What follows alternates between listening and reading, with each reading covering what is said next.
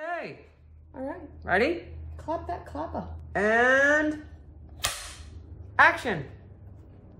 Today, you know, we this video started out in an entirely different direction. We knew we were going to use these metallic paints, but we suddenly had the revelation of, wow, these are pretty awesome. These deserve a video of their own. So you'll see them again at some point, but certainly, and they, this is DecoArt Extreme Sheen Paint. This happens to be the 24 karat gold color and it's amazing when you use this one. And I'm, I'll admit, I'm not a gold person, but it's beautiful. So there are 28 colors in this line. These paints are a little different than most of the paint that you and I work with on a regular basis, whether it's the Golden Fluid acrylics or it's the Amsterdam acrylics or it's the Dylusions or Tim. You'll notice it when you see us roll it out on the plate. It it looks a little funky. It looks a little different than what you normally see, but ultimately it works really, really well. And you can do anything with this paint that you do with any other. The caveat, and Elizabeth will show you this in the beginning when she does her bit, is that if you, you want to show that? Look at the 24 karat gold. I know, right? If you want real depth and you want good coverage, you need to print it twice. That's the biggest thing that we can say about this is if you want that look and you want that opacity, we're talking gel printing now. You definitely want to layer that on two times. Just as a base layer. I mean, I hit this twice to create the base layer, but in subsequent layer printing, I didn't have to hit them twice. No. Just to make sure that the bottom layer was definitely that intense and that 24 karat gold. So, which is pretty darn which good. is pretty darn good, yeah. yeah. So with those 28 colors in the line, I've worked with some, Elizabeth worked with some. I mean, there's just not enough time to use all 28. But the other thing that we did was we brought out, technically we, I didn't even unpack the last time I went home. So we brought out her Patterns for Layering 2 stencils, which you will see before this video goes live.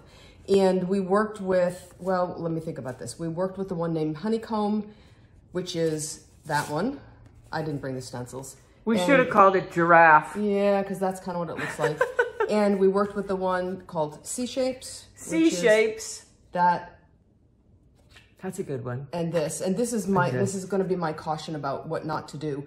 And then we worked with the one named Daisies and Stars. So when I was printing, Elizabeth is going to show you a layered gel print. And let me shut up for a second and let you talk about that.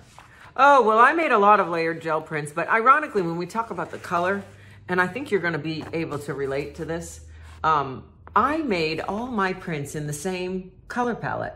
And I wasn't even really thinking about it, but every single print that I'm showing you is in like the pink, blue, and gold color palette. Every one that I made, it's one version or another of that. And um, I think that's true of all of us. Like, like you went right for the teal and green, which is what appeals to you, and I went to the color palette that appeals to me. And um, sometimes you got to make yourself uh, try a new color. Because, um, like I said, I didn't even realize that every print that I made was basically in the same three colors. They call it a comfort zone for a reason. Yes, it's a comfort zone.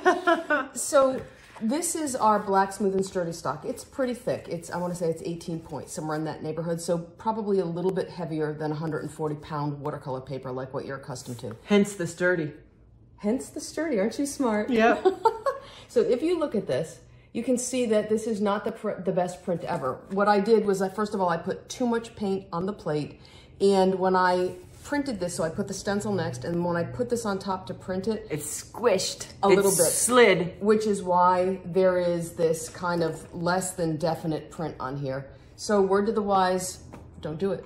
Unless, yeah, I well, mean, yeah. Uh, you know, not everything.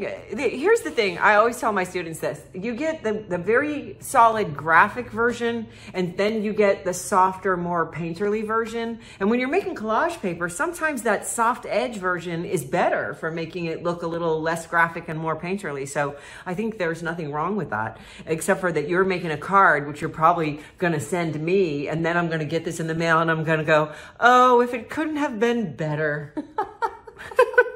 but you know, we all know the reality is is that she's never going to send me a card in the mail. That would presuppose I'd actually get a stamp out and put it on there, but right. that's not going to happen. No, but but um, you know, in terms of collage paper, I love the soft edge. You know, when when it's an imperfect print and it looks a little more painterly. So, and quite honestly, there's nothing wrong with this if you mm -hmm. want some pattern and texture on a background that you're going to then layer over it. That doesn't make a hill of beans worth of difference. So it really is just a question. And, and you know what? The, one of the things that happens happens in my brain is I'm working, and typically I'm working alone. I'm not always with Elizabeth. I, I have this. Most thing- of the time. Yes. A lot of the time. Uh, You and I are together. Every month. lately, every other month, going a little further in the year, but more often than not, she and I are working alone. And what happens is, I, you know, I'm rolling along and I'm doing whatever I'm doing, and I don't get exactly what I want. But then I thought, all right, well, I'll just slap some stuff on top of it. And nine times out of ten, it works out fine. The one thing that I'm always cautious of is this um, this perception that everything we make is fabulous. Mm-mm, it doesn't work that way. No. Uh, you know, there's a lot of punting. There's a lot of, ooh, can we make this better? And then sometimes stuff lands in recycling because it just, it never really gets to where I want it to be. So when you create something that isn't exactly what you had in mind and you can't find any redeeming value in it, feel free to toss it. Really? You know what I say about that? What? Put another layer on it. I know you do. Pretty If soon you- the paper doesn't flex. If There's you so don't like it, put another layer on it. You'd be amazed. I mean, we made some beautiful prints with the base layer as a roll-off sheet, which is yes. something that most people would throw out. Um, I love putting a couple stencil layers over the roll-off sheet. It makes a beautiful print. So The, and what happens is, is it makes a print that you will never create again. you can never recreate. You recreate can get it. something close. You can use the same patterns, the same combination of stencils in the same order, and it's not going to be the same. But that's okay. That's why they call them mono prints. Mono print. Only one. Yes. Let's go make one. Let's go. So these paints are so sparkly metallic that they're really um, wonderful to work with just as a flat color. Um, I'm really excited about the potential of tearing this up and applying it the same way that I would apply gold leaf or deco foil, but I can tear it into small pieces for collage and I can apply it in areas as a solid gold that is really nice and shiny. And it's not just gold. So, um, we have, this one is, it's not the pure gold. Uh, it's a version of. And then this is like a rose gold. You can see how shiny and sparkly that is. And then if you wanted to add a little texture to your metallic leaf, this is just a print of the copper over the gold with one of my patterns for layering stencils. And then I've just got a little bit of texture in my gold uh, leaf or my gold metallic application. So the best way to get the really sparkly, shiny, solid gold, like we said in the introduction, is to hit it twice with two passes. So here's the, this one is the 24 karat gold. So I'm going to brayer that out in a nice even thin layer. It's easy to put too much paint out and then the paper slides around. So the best way to do it is to just make two passes. I have found through practice. Okay, that clearly wasn't enough paint. So I might have to do, go a little heavier. The solid metallic um, like this, the gold, it makes a beautiful base layer for layered print. And um, for that reason too, as well as just saving it as gold, plain gold, it makes a beautiful base layer to build a print on. So you want to get a really good solid gold layer and then build your subsequent layers on that. So here's our, technically our second print because the first time I didn't use enough paint. So we're just going to print this over the first print. And then you get that really solid, shiny gold. I mean, that is really rather amazing for paint. It just gives you a real good solid base, like I said, to build on or to use um, as it is. So um, I also want to show you a layered print with some other uh, of the metallic colors. So this is basically a roll-off sheet that Barb uh, left behind yesterday, which I thought would be a great base. And that is a combination of roll-off of the coral, the pink tourmaline, and the garnet. So you can see that there's all three of these colors are sort of rolled off and on this base sheet. And I'm going to use that to layer and create something cool. So I'm going to roll my uh, brayer out so I can get the gold out of it. And then the next layer that I'm going to do is a ghost print of my Klimt Cubes mask. And I'm using the deep sapphire color. So I really want to, I'm going to flip this over. I don't want to get gold in my deep sapphire color because it will be green because the gold is the yellow. So I'm going to grab another brayer. There, but It, well, it's dry. dry. yeah, yeah. I mean, because you know, gold is pretty much a yellow, and if we, if that get contaminates this beautiful blue, we're going to end up with green, which is not what I'm going for. So I flipped the plate over. That's probably too much paint. Um, and uh, what I want to work with from this is the ghost print. So I'm going to start by taking a roll off sheet and removing the paint from the negative spaces. Okay, so let's take a peek. We want to make sure for a good ghost print, we want to get the paint out of the negative space openings, but we can't spend too much time or too much pressure because then the paint underneath the mask will stick to the back of the mask and not leave us much to work with in the ghost print. So it's kind of a delicate balance here. All right, that's pretty good, I think. There's still a little in here and in there.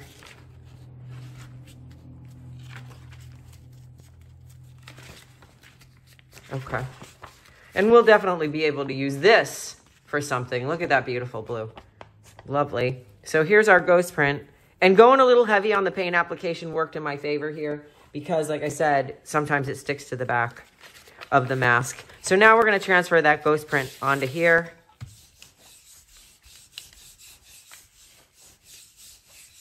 And that blue is such a pretty color. There we go. That's pretty. Yeah, that is nice. And then I'm going to use my patterns for layering. Do we remember what this one is called? We do not. This is actually from Patterns for Layering 2. Patterns for layering 2. I like this. It, it, it kind of looks like star, sparkly stars. Um, and I kind of like the way that that lent itself to gold. So again, I've got blue. So I'm rather than deal with that, I'm just going to go back to my gold side. And I'm going to go back to my gold brayer. So I'm going to put that 24 karat gold on top again.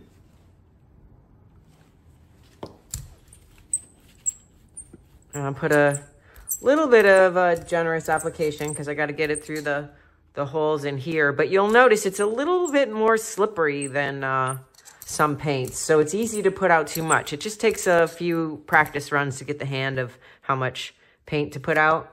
And um, quick reminder, we are using the Yasutomo 9x12 sketch rice paper pad. Um, that is my favorite paper for gel printing, and we're using the smooth side down on the plate. So we're going to now layer patterns for layering two over the Gustav Klimt Cubes mask. So we'll get a large pattern with the cubes mask and a small pattern with the patterns for layering. So we'll have a contrast of size of pattern and shapes. And I do like the Baren for getting pressure out to all edges and the corners. It helps to eliminate the buildup of paint around the edges that you get when you gel print for any length of time because when we press with our hands, we tend to not go all the way out to the edges. Okay, so we need more pressure.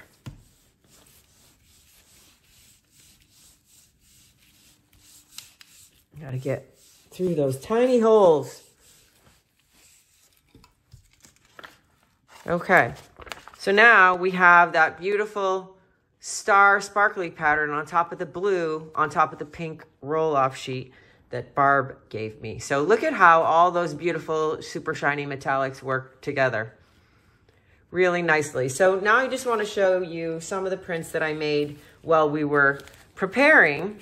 So this one is a couple of patterns for layering too um, several of them actually, and all layers of metallic paint. Look at how sparkly and shiny that is.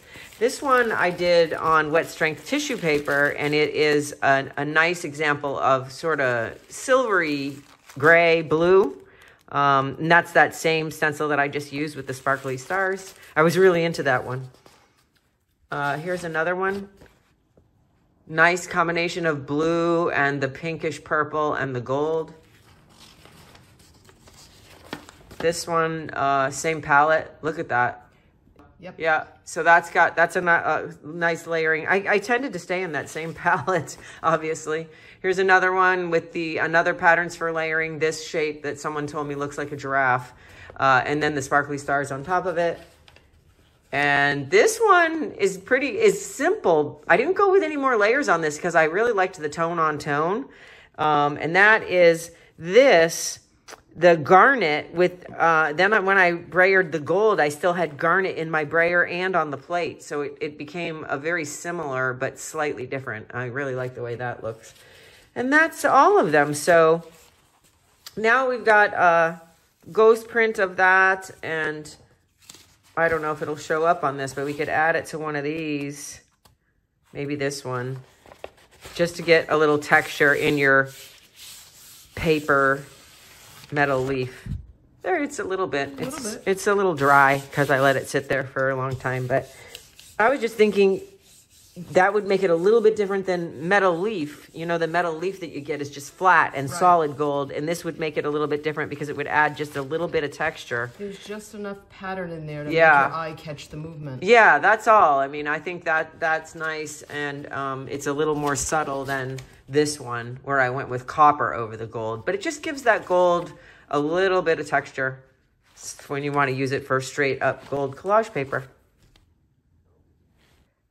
Elizabeth did not work with either, what are, where are we here? The color's on here someplace. Oh, come on, it has to be here. Oh, either Peridot or Aquamarine, and since those are pretty close to being my all-time favorites, that's what I'm gonna work with. Before I show you what I wanna show you, I'm gonna show you some of what I did. So let's start with, these are the swatches that I made when we filmed the Patterns for Layering 2 stencils. So the ones that we've worked with, this is Daisies, this is C-Shapes, we have honeycomb, and then we have stars. And so I've used all of these, I think, in one way, shape, or form. So this is C-shapes.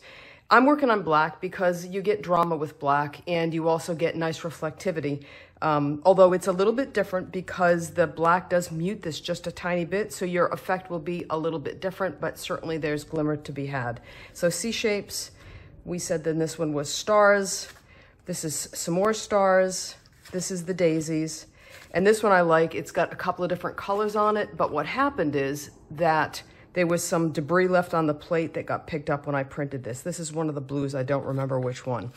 So I'm gonna play with two colors and I'm just gonna do an ombre because it's something that I enjoy. And I'm going to work with, whoops, with the stencil from Patterns for Layering 2 that I've already forgotten the name of, that is Daisies. So give these a little bit of a shake. I'm gonna put a little bit out on the plate of both, whoops, of both colors.